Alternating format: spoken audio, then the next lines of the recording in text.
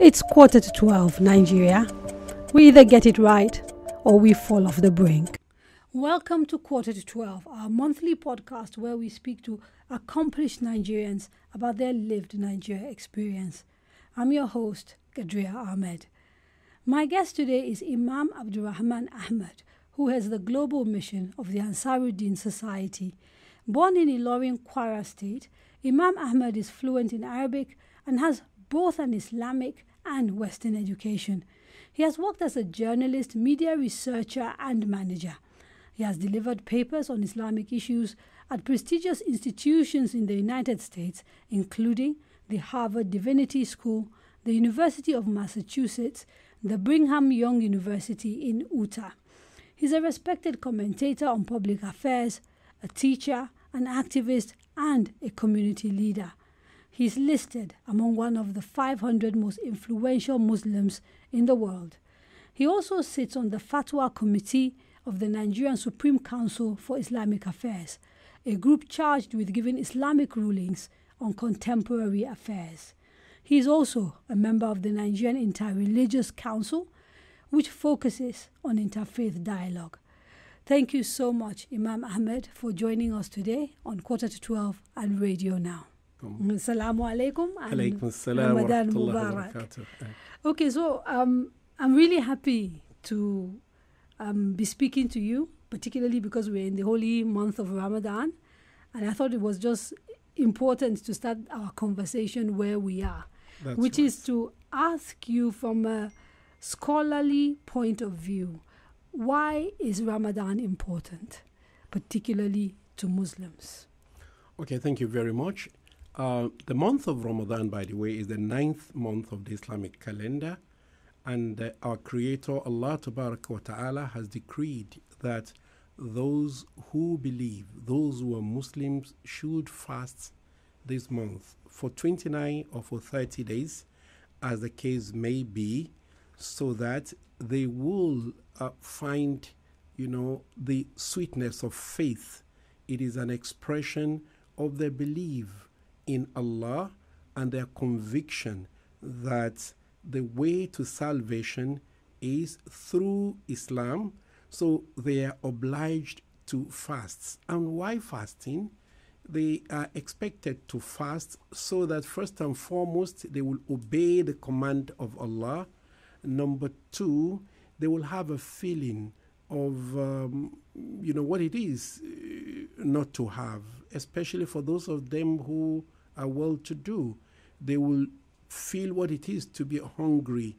They will um, have a feeling of uh, what the poor goes through almost on a daily basis so that they learn to be compassionate to those who are less privileged, to those who cannot feed themselves, to those who cannot afford the basic necessities of life.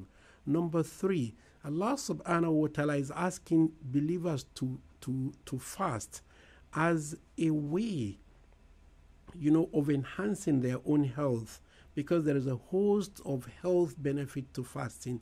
Uh, science today has told us about the tremendous benefit of intermittent fasting, you know, as a way to cleanse the system, as a way to show up, you know, uh, hum- im- immunity So, something Muslims had known for a long time. for a very long time. and something that the has been science is catching up. Exactly, exactly. So these, among others, are some of the reasons why Muslims are asked to fast. And yet, fasting is not limited to only wealthy Muslims. So, for example, um, you say the reason is to sort of adhere to what um, Allah said, but the second reason, like you said, is to encourage empathy so that you can put yourself in the place of people who normally would not get three square meals. And yet, even poor people who are Muslims are required to fast. Yeah. What is the lesson then for them? Because these are people who are used to hunger anyway, um, when they fast. Now, you, you see, the, the, the, there is uh, an inbuilt system in Islam to take care of those who are poor, especially during the month of Ramadan. Um, for instance, it is said that uh, if you help a fasting Muslim to break his fast or her fast, as the case may be, you have the same reward. So you find out that in the month of Ramadan, Muslims are especially generous. Mm. And of course, at the end of Ramadan, also, there is what is called Zakat al Fitr, which is uh, a zakat that is given out um, by those who fast, especially those of them who can afford. For those who cannot even afford it, so that at least there will be some form of leveling. Mm. So, on the side of the uh, rich, the world to do, it is a way to, you know, uh, create empathy. And on the side of those who do not have ordinarily, whose everyday life is almost fasting, um, it is a kind of relief for them because this is a time that Muslims are generally very generous. Mm. They generally look, you know, uh, out for, you know, the poor people. You get to every masjid during Ramadan. Masjid being a mosque. You know, a because, mosque. You know, our audience a, a is mosque, not 100% Muslim. A mosque. A mosque. Right. You find that um, there is free food for everyone and majority of whom will be those who are ordinarily poor. Poor. So um, so you've you've already started touching on sort of the issues around my next question, which is right. essentially to ask you to sort of go into a little bit more detail about what the responsibilities of Muslims are during Ramadan, both to fellow Muslims but maybe also to their communities. Okay, you see, um, the whole essence of Ramadan um, is self-denial, and uh, is not is not limited only to the to the rich but even the, and to food and you know, which and is the food. one that is the no no no it's not it's not restricted to abstention from food from drink from you know other things. It is um, a, a, a period where you feel for the other person where you are more responsible where you are more alert to your responsibilities to yourself to your god to your fellow human beings. For instance in the month of Ramadan, everyone is encouraged to be extra good, to um, be extra charitable. You know, even in speech, it is said that whoever fasts and, you know, does not um, avoid reckless talk, lying, insulting, backbiting, fighting, the, you know, fighting and, and, and behaving ignorantly, stupidly, you know, then Allah has no need for his or her fasting. So let me get you correct. You're not saying that ordinarily Islam encourages these things. You're saying even in normal life, these things are discouraged, but we are asked to do yeah. that much more, put in much more efforts to be better people Exa- exactly. during Ramadan. Exactly. At any time, these are vices that are discouraged, um, that will attract, you know, um, you know, punishment because they are sins ordinarily at any time. But it is like uh, outside of Ramadan, maybe they, at, they, they attract like 10 points, mm-hmm. and uh, in Ramadan, they attract like times 10 of that, 100. So people are more vigilant. It is also a means of training them so that um, whatever you can do successfully for 30 days, for one month, you should be able to, you know, carry it over. So it, it's a form of training, training in discipline, training in selflessness, training in self-denial, training in empathy for the rest of the year. You started talking earlier a little bit about zakat, which is essentially the compulsory wealth redistribution, I called it, but it's essentially a percentage of someone's wealth that has to go towards helping the poor. Can you talk to us a little bit more about what zakat is and what the principles of zakat is, are? Okay, uh, when we talk of zakat, basically we're talking of two types the one that is compulsory and the one that is voluntary. The one that is given out every year um, outside Ramadan or in Ramadan, but zakat on wealth. And we're talking about zakat al fitr, which is the zakat that is given at the end of 30 or 29 days of fasting. This is also a form, you know, of redistributing uh, wealth. And when we talk of zakat al mal, the zakat that you pay on your superfluous wealth, um, is just 2.5%, Right. uh, 1 over 40 of your wealth.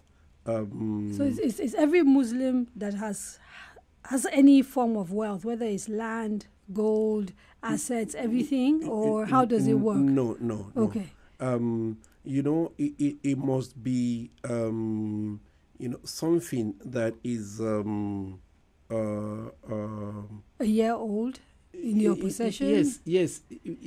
There are categories. Number Okay. one, there is zakah of money, Right. and um, it is the the standard is 85 grams of gold, and that translates to um, whatever about two million something now. Mm-hmm. Um, it could be less based on the strength of the national currency of the countries concerned. This is the minimum. Right. And when you have it for one whole year, Mm. all right, if you have, for instance, two, mi- 2 million at the beginning of the year, uh, not minding the fluctuations within the year, if at the end of the year you still have up to 2 million, you know, or more, then you take, you know, 2.5% of it and redistributes.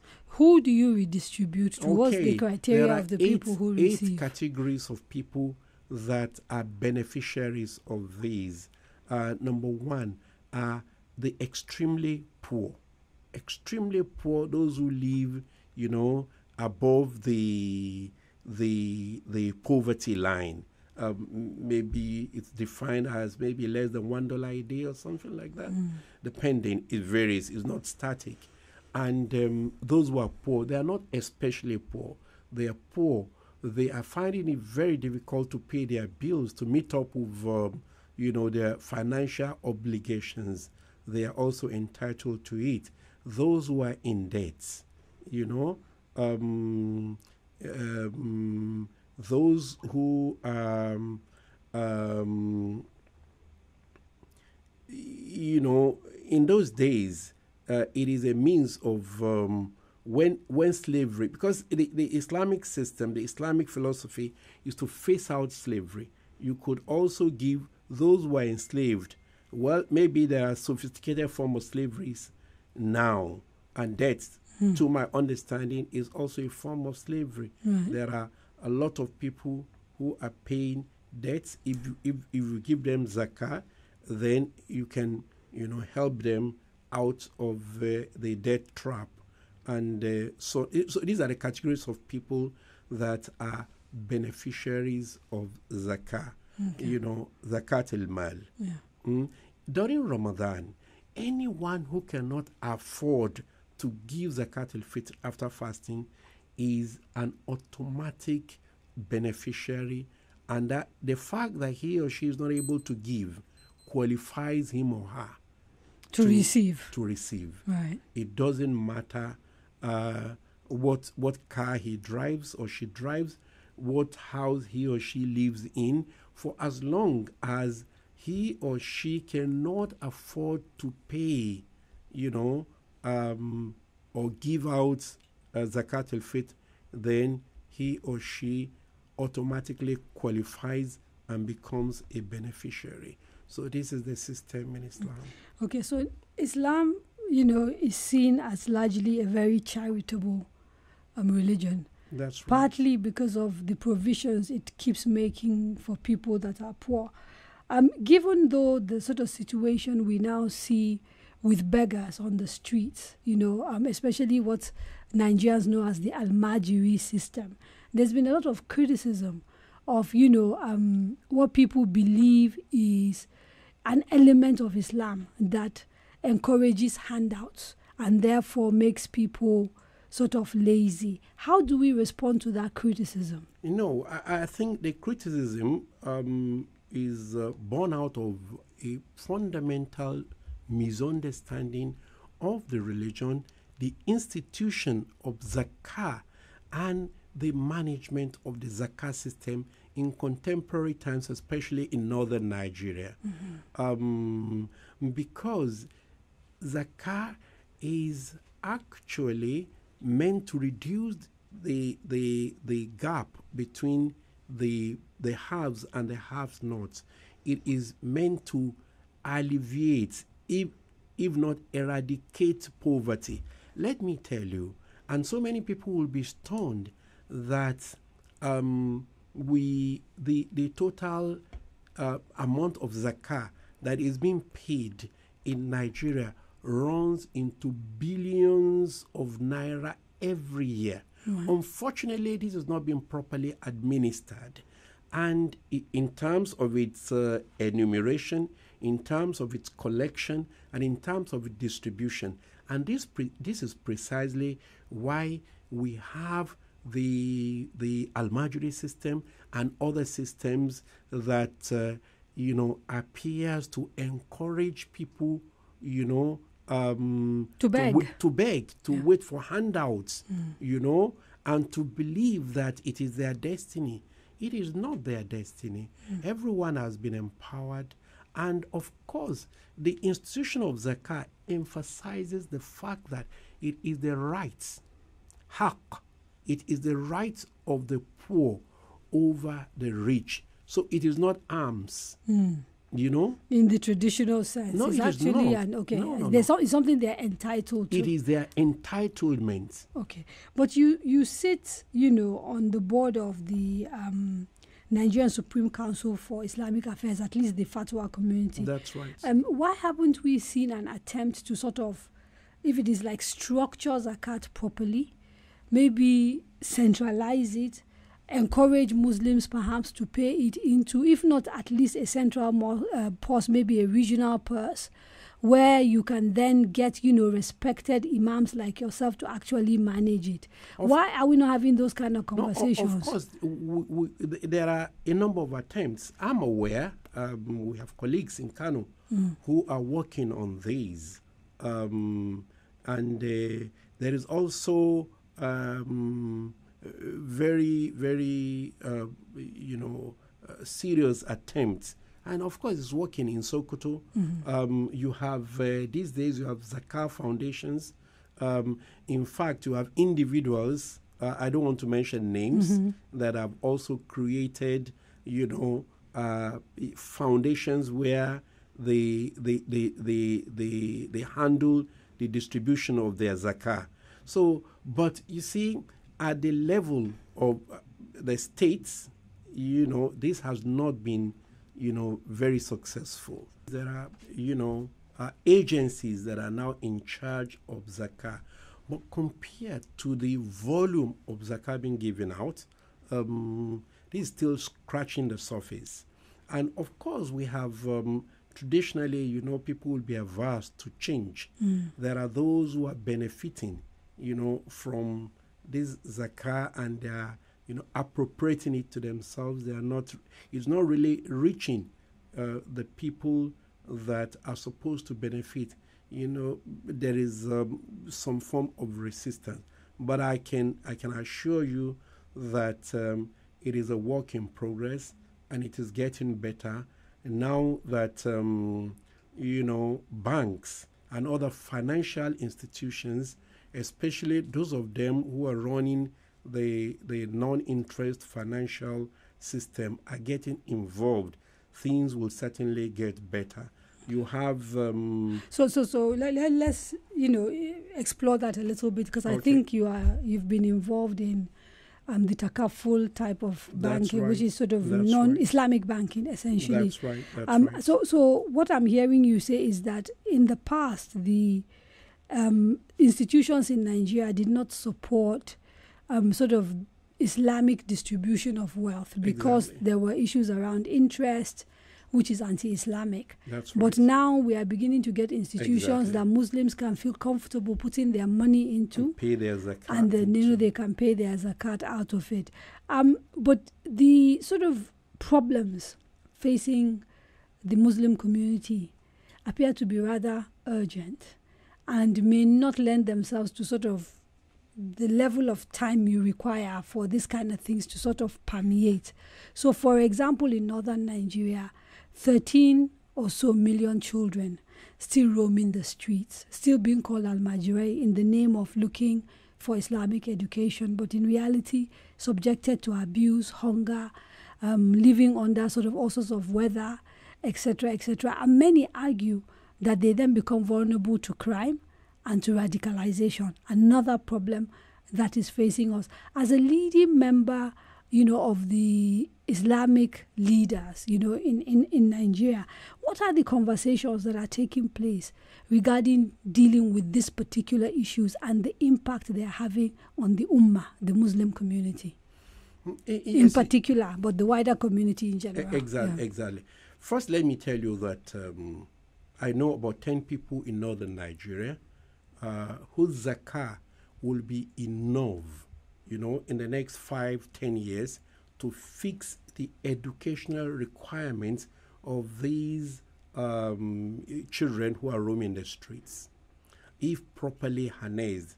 And I can assure you that efforts um, are being made to ensure that this is done. Of course, you know we we we are in a very um, a conservative situation, and um, uh, you do not expect that even at the at the level of uh, the fatwa committee, we could even engineer consensus. But I can assure you, things are changing, even though one would have wished that it is changing faster to cope with. Because many are saying we may not have time because of you know, I, I know. I, I, I. Realize that Yes. time is running out, and I realize that even some of these things, um, uh, you know, are, are, are, are, are, are 50 years late. Yes, I do realize. But nevertheless, it is still better than not doing anything. We could, for instance, it's very sad but true. One of our colleagues, um, I don't want to again mention names, um, was kidnapped. All right? You know, the funny thing is, the kidnappers made him to lead prayers each time. Five times a day, he was the imam, leading them in prayer, and they were telling him, Look, we hate to do this to you, but we don't have a choice. So there's always been an assumption among a few of us, and I think if you sort of listen to public discourse, that some of the criminals that are sort of terrorizing our communities do not even have enough Islamic knowledge, and that that perhaps explains one of their the reasons why they are sort of um, into criminality. So when you say that they are actually praying five times a day and getting someone that they kidnap to lead them in prayer, it suggests that they are actually Muslims. It's a bit disturbing, isn't it, that members of the Ummah are responsible for terrorizing the Ummah and the wider community. How did we get here? Oh, unfortunately, it is true. They are Muslims. But you see, they do not understand Islam. They practice what they do not understand. For them, Salah, prayer, is culture. It's a cultural thing. It's something they are accustomed to. Some of them may not even be able to read Fatiha, the opening chapter of the Quran, properly.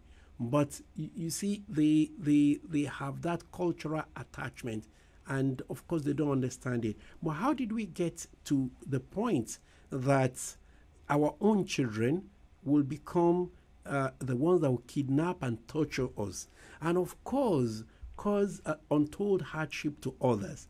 Of course, it starts from the fact that we have been negligent of our role as parents, as ulama, as as teachers, as scholars. You know, we have been negligent. We have never been at home you know, for our children. Um, we have never taught them um, real Islam. Y- You know, you get children who have memorized the Quran, they don't know the meaning of Fatiha.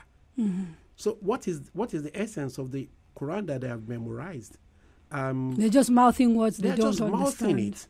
And you have a system where people thrive on enslaving others mentally, physically, economically. And they think it is part of the privileges that they have been given by the Almighty. I can say this is very, very far from the truth. It is not so. And for so long, the ulama have not spoken out. They have not fulfilled the role that they expected to, you know, fulfill in society. They have not sufficiently warned. They have not, you know, um, uh, lived most of the things they are preaching. They, they became very complacent. And of course, this is the price that we're paying. I can tell you of a very sad story.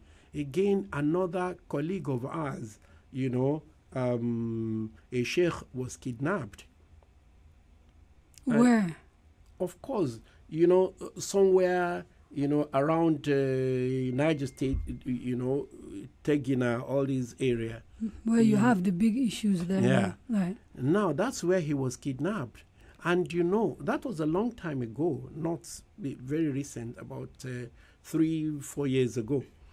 You know, and um, after about a week, the kidnappers, you know, met him because they discovered he was uh, uh, a sheikh, and um, you know, the long and short of it was that most of them told him that um, they never knew who their fathers, you know, are.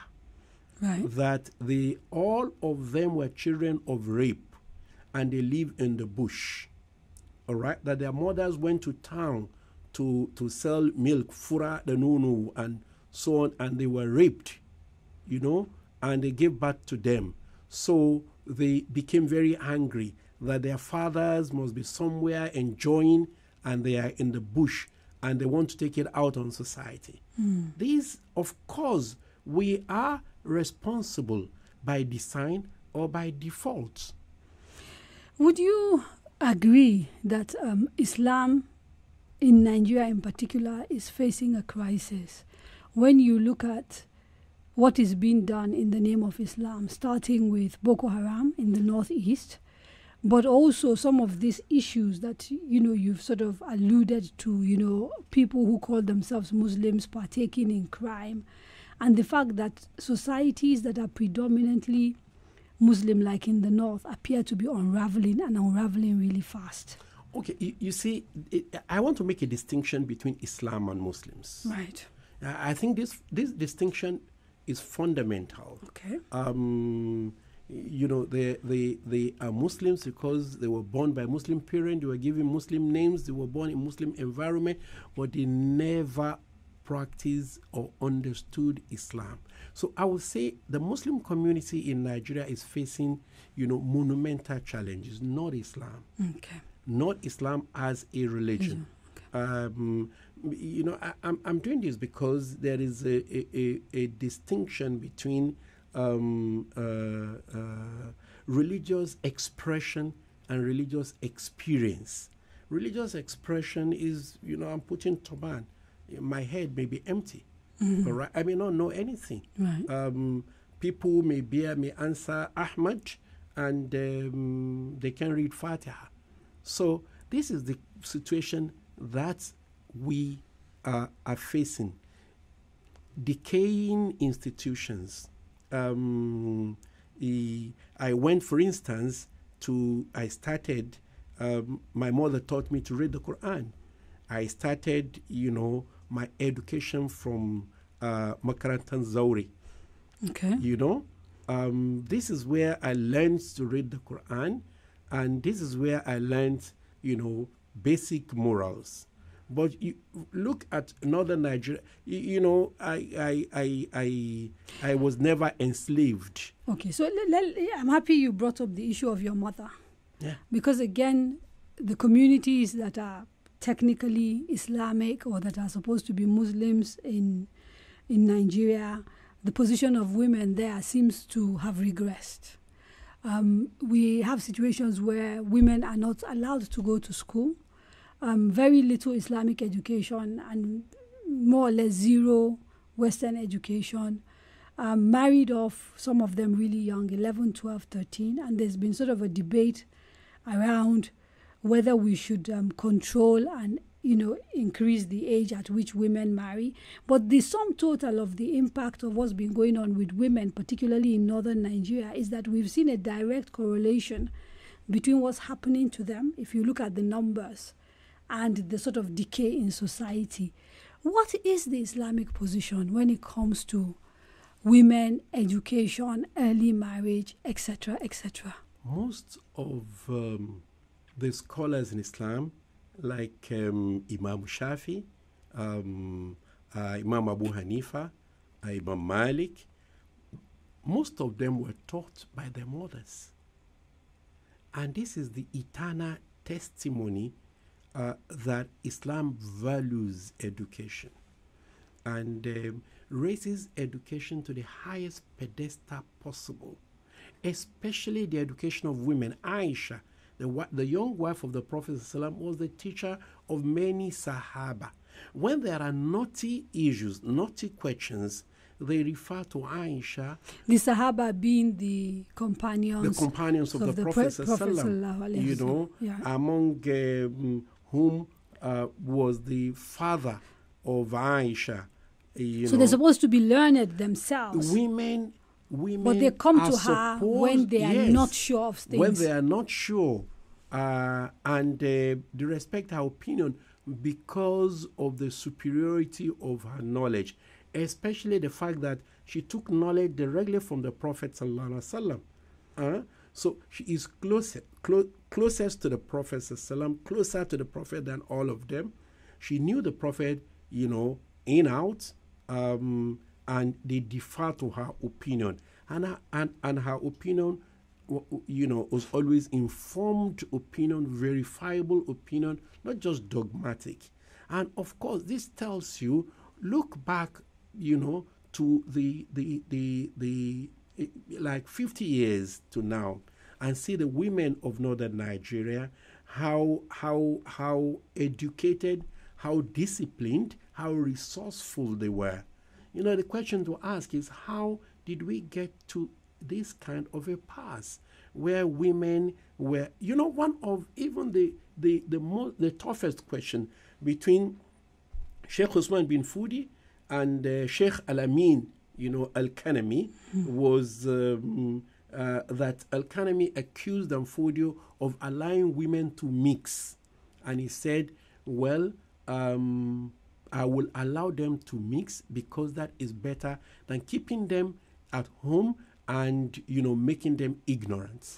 And I mean, Nana, Nana Asma was famous for running schools. Exactly, where she so, sort of went so, into so, communities this, and established. This, this, this is uh, our heritage. This is our past. So who who can now uh, tell us that it is because of Islam that? Uh, women. But uh, it, that that is the excuse, though, that we hear. It can so, never be an excuse. Mm. It is rather uh, uh, uh, the situation would correctly be it is because of the abandonment of Islam itself that and and the value it places on education, particularly that of women, that we have found ourselves okay, so, so, so that's today. Islamic education. What about Western education? Because, let for example, you, if you look at, let, let me, me, ask the question, okay, Sheikh. Okay. For example, if you look at Boko Haram, their very name um, suggests that they are against Western education. So, when it comes to women, again, what is the Islamic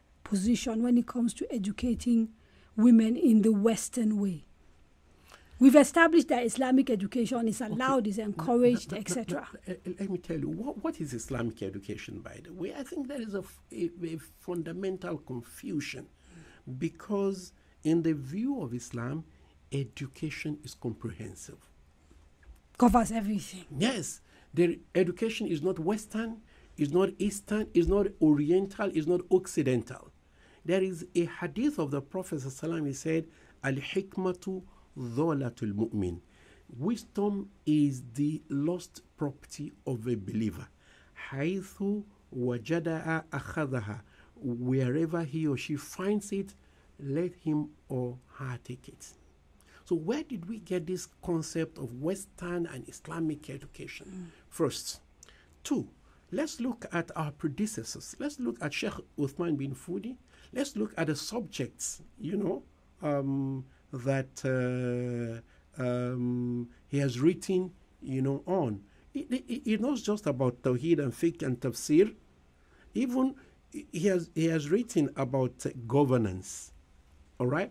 And people will tell me that governance is uh, Western. Mm-hmm. Who, who, mm-hmm. says that? Yeah. Now, the, the, the one who invented a logarithm that we use now uh, to make life very easy and sometimes very tough and difficult for us is Al Khawarizm, who is a Muslim.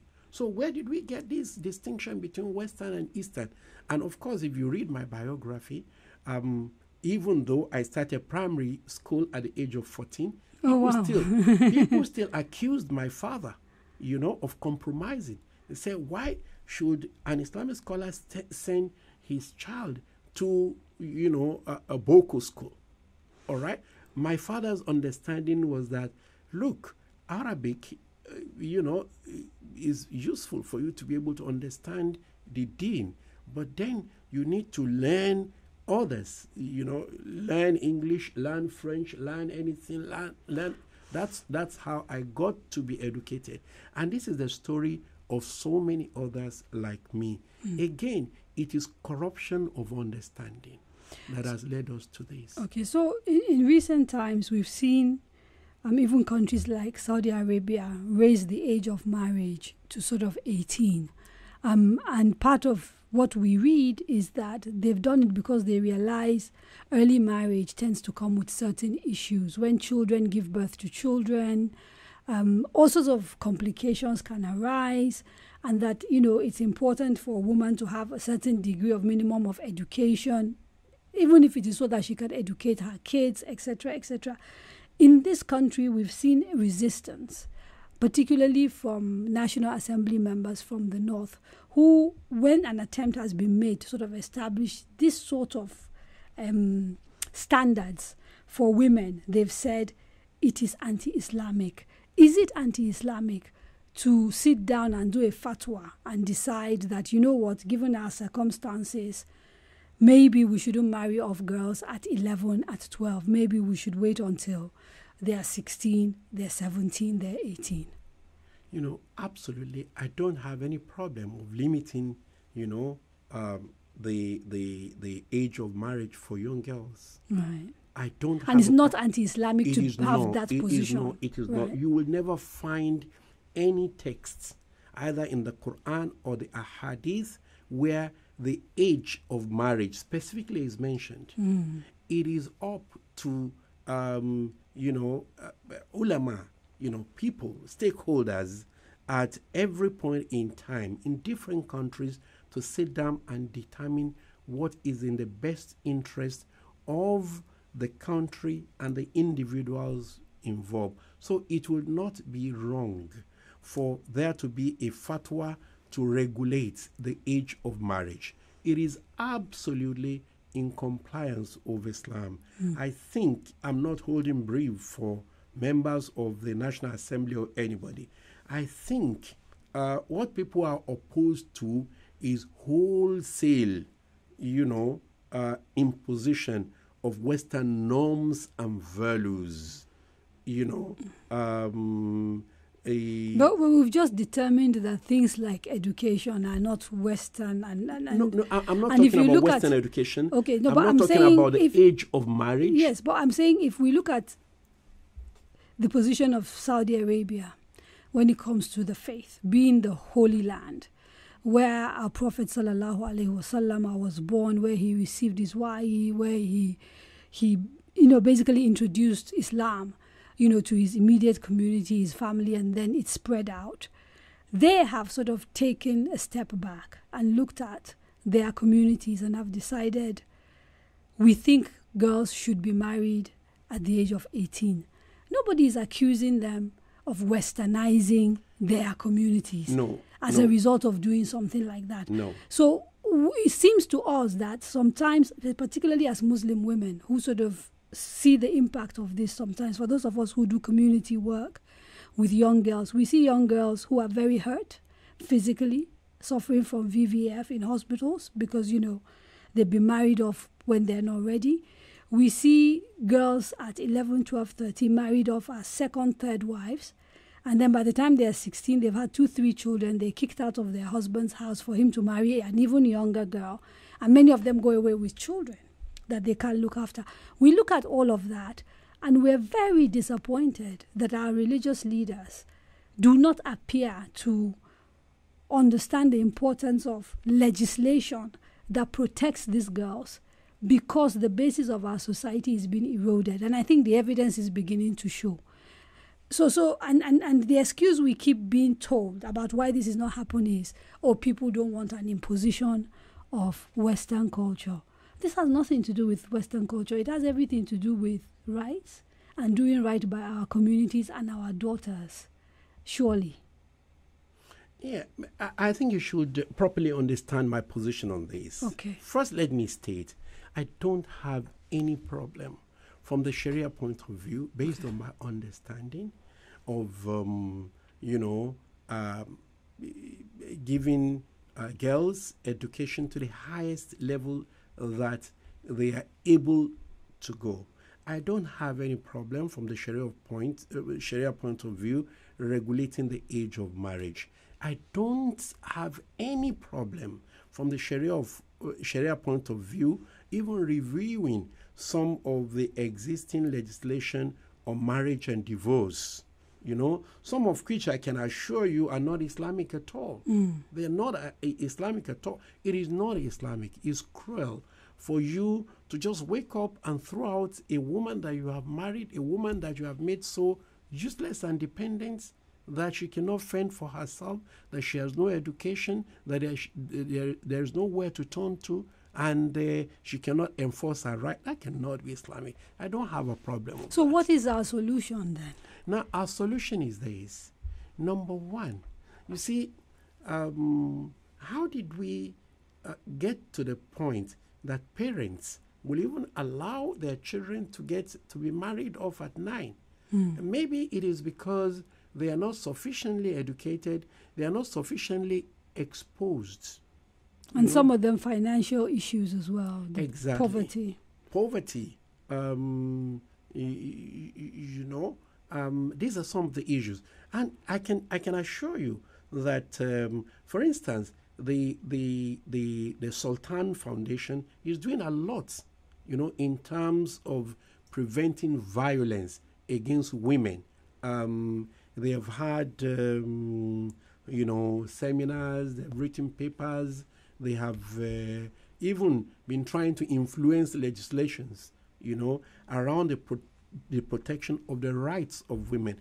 But of course, it takes one whose right is violated, you know, to assert that she has rights in the first place and to seek redress. Right. Let's let's um, leave that for a little while and go into something that is slightly related. Again, issues around people who've been put in charge of communities, leaders. Often, you know, you hear people say Islam encourages us to pray for our leaders. Islam encourages us to follow our leaders because, you know, leadership is given by God and we shouldn't be challenging them. What is the role of Muslims in a society where leaders are patently doing things that are wrong? Yeah, you know, Islam is based on what is called Amru bil Ma'ruf wa Nahy anil Munkar, enjoining what is good and forbidding what is evil. The methodology may differ, but it is the responsi- responsibility of especially leaders and scholars to call erring um, uh, uh, leaders to order. Right. The method that Islam recommends is, and of course, our history is replete with um, outstanding scholars who have had to stand up to, um, Tyranny. you know, tyranny, um, oppressive leaders, and so on and so forth. Some of them were, you know, in prison. Some of them were tortured, but they were still, you know. Um, and in our text, we read that um, um, the worst scholars are those who are found, you know, uh, at the door of rulers. And the best rulers are those that are found at the door of scholars. A system of checks and balances. What Islam tries to prevent is, um, you know, anarchy. You know, um, that's why some people who do not properly understand it, they say, no, no, we must not uh, Criticize, complain. we no, must we not com- can, we can, we can, we can criticize leaders. But you know, before we take criticism to the open, first is leaders in Islam are supposed to be accessible. They are supposed to be amenable to, you know, uh, uh, constructive advice and constructive criticism. And scholars are supposed to meet leaders one on one with, you know, evidence that they are doing wrong and, you know, the way out. This is what you should do instead. And they should be ready to be at the service, you know, of such leaders when their services are required, particularly for guidance. I do not mean join, uh, taking uh, ministerial positions or appointments. No, th- th- this will not be it. Um, yes, we should pray for our leaders, um, especially uh, for guidance, uh, for courage, um, for good health. But at the same time, we must be ready to tell them that they are not doing well. That no, is no, why I smiled a little when you talked about um, Islamic leaders um, taking ministerial appointments as if you were sobbing a particular minister that we know. no, no, no, no, no, no, not necessarily. O- okay. Of course, of but what course, happens, whichever whichever yeah. scholar takes ministerial appointment will be taking it in his own name. Not on behalf of Islam uh-huh. and okay, not so, in the name of Islam. So let me ask you what happens where you talk and talk and leaders are clearly not listening? What is the responsibility of the ulama, but also regular everyday Muslims, particularly in societies that are facing serious crisis like the sort that we're seeing in the country today? Again, I've, emphasized, I, have just said that Islam tries as much as possible to prevent anarchy, the breakdown of law and order, as much as is practicable. Um, and of course, this is why, for me, I, I, I think um, it is a religious responsibility for Muslims to um, make themselves eligible to vote. Um, because but not run for office or both. No, Muslims can run for office. Right. Muslims can run. You know, if you can vote, then you can be voted for. I do not see anything wrong. I will not stand for elective office. All right, that, and that's, that's me, and that's thing. personal. Mm. But nothing stops a Muslim from running for elective office. Right. All right, I'm just talking about myself. So, um, so therefore, the, the, the, the, the, most peaceful way, the most um, uh, constitutional way of removing, you know, a, a, a, leader, a government that is not nope. perform, performing, is to vote them out. Okay. All right, you only need um, max in Nigeria maximum four years. Right. Um, you can you can you can um, you know comment with your with your. Your voter card. So, so, we're running out of time. So I'm going to sort of try and quickly wrap this up by asking you if you look at the problems we're facing, we've been fighting Boko Haram in the northeast for close to over a decade now. Sure. Um, increasingly, it looks like their activities are spreading into the um, northwest. You know, um, there is some evidence and, and, that there's a presence the, and the north central and the north central. Um, are you hopeful at all about this country, the Ummah, and um, Islam in I, Nigeria? I, I pray, I pray that um, um, we'll be able to do the right things. And I pray that we'll, we'll be able to keep hope alive. But I'm afraid we are not doing the right things. We're not fighting this battle the right way. All right?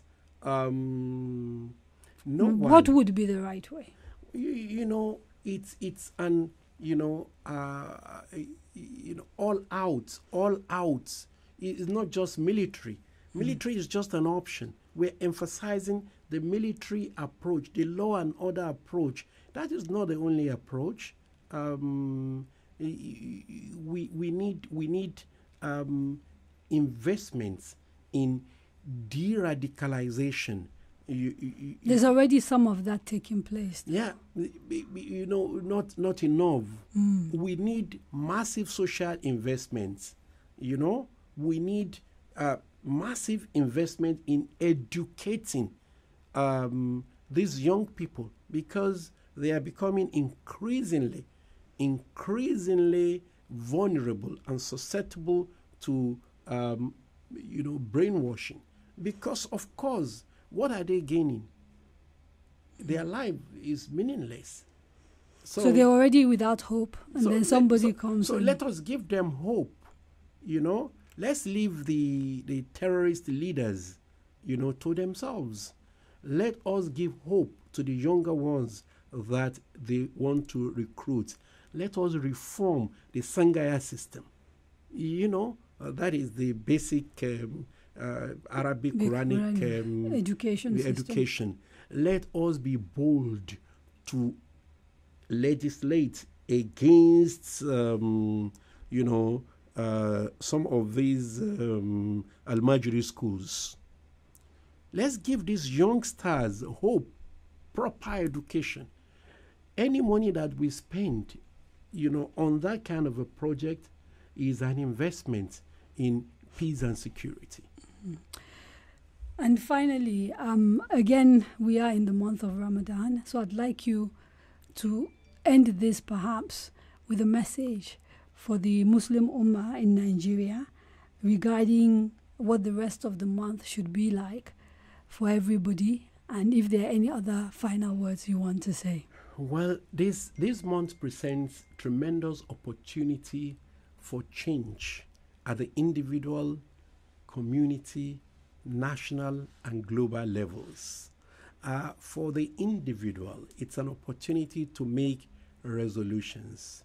Resolutions um, that going forward um, will affect the individual and his family. We, as individuals, must make a resolution to stand for what is right, to do that which is right, to en- that which is right upon others, to create an atmosphere, an environment that is conducive for doing what is right, what is just, what is fair, what is sane, what is ecological. If we carry this message forward to the community, um, as leaders, as members of the community, if we do this, um, and we watch out, we, we look out for our brothers, um, uh, then it's going to be better.